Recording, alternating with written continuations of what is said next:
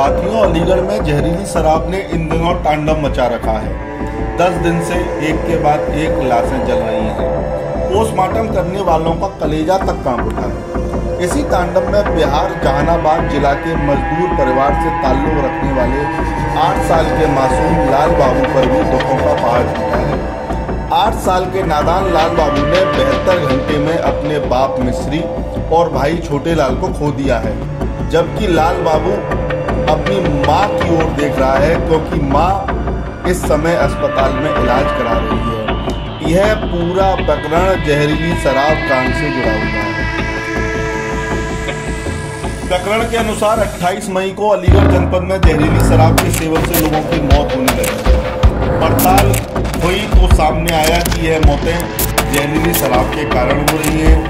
देसी मिलावटी शराब की बिक्री में शराब माफियाओं की साठ गांठ का मामला सामने आया। है जबकि शराब के अंदर मिथाइल एल्कोहल नामक जहरीले रसायन की पुष्टि हुई। है धीरे धीरे मौतों का आंकड़ा बढ़ता चला गया। पुलिस और प्रशासन छापा मारने ही वाले थे कि कार्रवाई से बचने के लिए जहरीली शराब के क्वार्टर और पेटियों को माफिया ने जमा के पास एक गंग नहर में फेंक दिया। रोयरा के एक भट्टे पर काम करने वाले मजदूर नहर में मछली पकड़ने के लिए गए थे। तभी इन मजदूरों में से एक व्यक्ति को शराब और पेटियाँ दिखी। गुड इवनिंग ब्रांड की देसी शराब देखकर मन में लालच जाग उठा। मजदूर इसे अपने डेरे पर ले गए। यहाँ कई मजदूरों ने मिलकर मछली पकाई और दूसरे दिन उनकी डेथ हुई। जबकि कई मजदूरों की तबीयत भी खराब हुई है। शुरुआती मरने वालों में बिहार के जहानाबाद निवासी मिश्री की मौत हुई। जबकि मिश्री की पत्नी जरवती और 30 वर्षीय बेटा छोटे लाल को अस्पताल में भर्ती कराया गया, क्योंकि इन्होंने भी मछली और शराब पार्टी में देसी शराब गुडिंग ब्रांड की जो नहर से मिली थी, उसका सेवन किया। तीन जून को मिश्री की मौत हुई। जबकि पाँच जून को उसके बड़े बेटे छोटे लाल ने इलाज के दौरान अब तक इस शराब कांड में लगभग दस मजदूरों की जान जा चुकी है। कई गंभीर रूप से अस्पतालों में उपचाराधीन है। अलीगढ़ जनपद में अब तक जहरीली शराब से 108 लोगों को मिला है। ये संख्या पोस्टमार्टम हाउस पर आने वाले सबों की है। लोधा ब्लॉक के बारह बदनसीब ऐसे भी हैं जो मरने के बाद किसी रिकॉर्ड में ही नहीं है।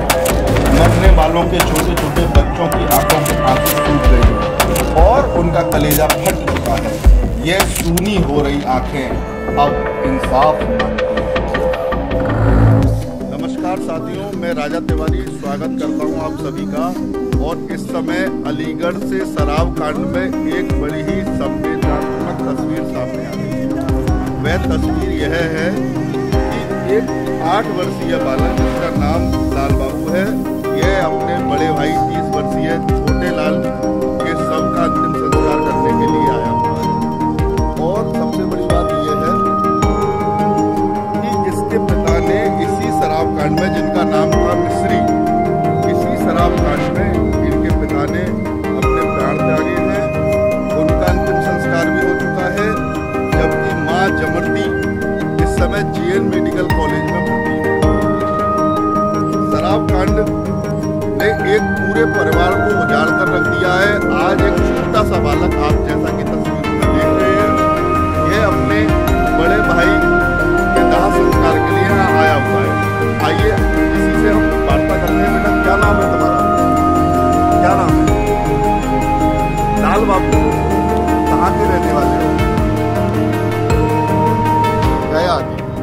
अच्छा तो ये बताइए यहाँ किसको दाह संस्कार देने आए हो?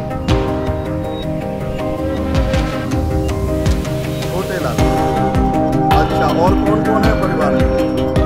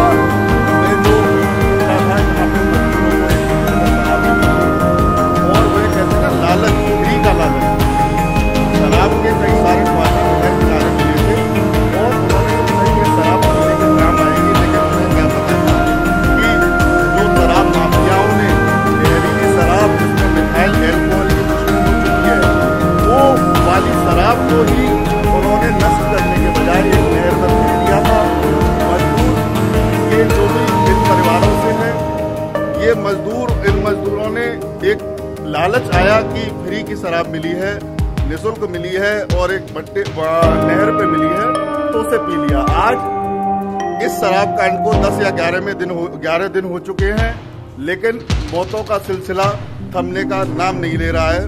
दोस्तों, अब मैं आपको जोड़ने जा रहा हूँ, ये जो मजदूरों की मौत हो रही है शराब कांड में, और रोहेरा में एक खुशी ईट उद्योग है जो भट्टा है ईटों का, उनके मालिक है हमारे साथ में चमन खान।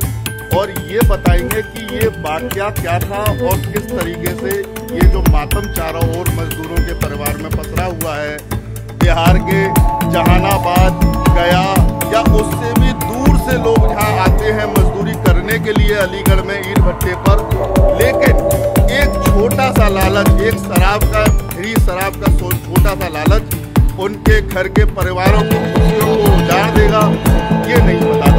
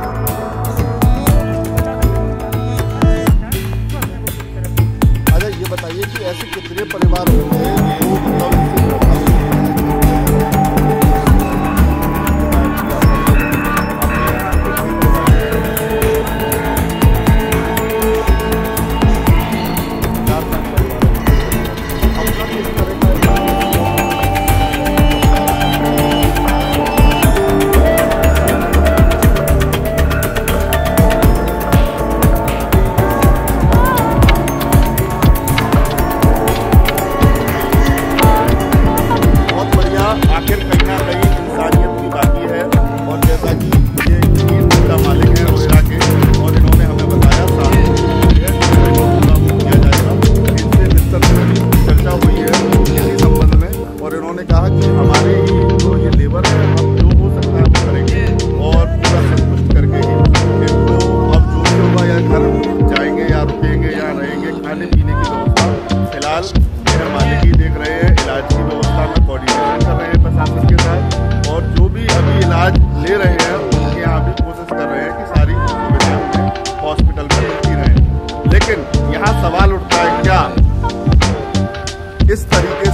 मिथाइल एल्कोहल की पुष्टि वाली शराब जो फेंक दी गई या जो उसके दोषी है।